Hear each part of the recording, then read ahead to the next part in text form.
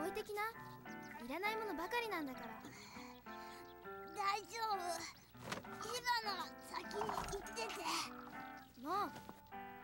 置いてくよ。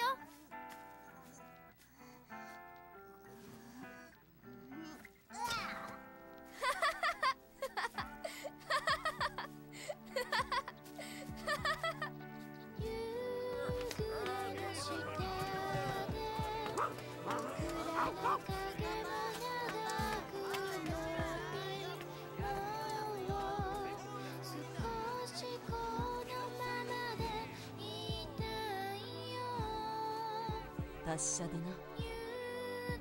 いつでも帰ってきてね。ありがとう。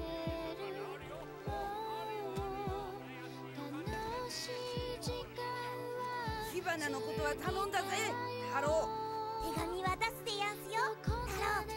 忘れちゃダメですよ。太郎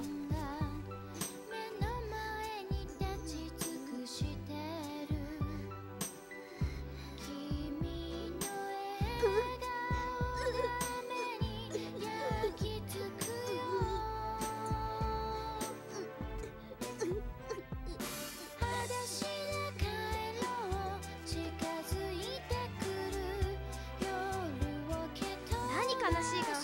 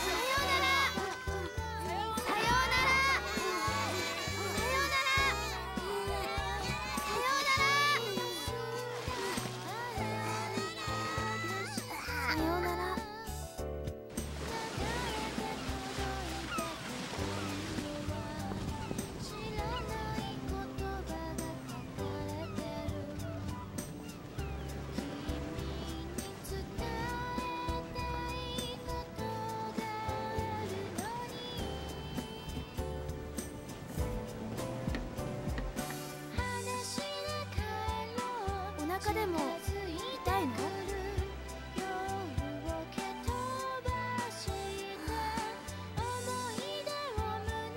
何やってんの、ほら。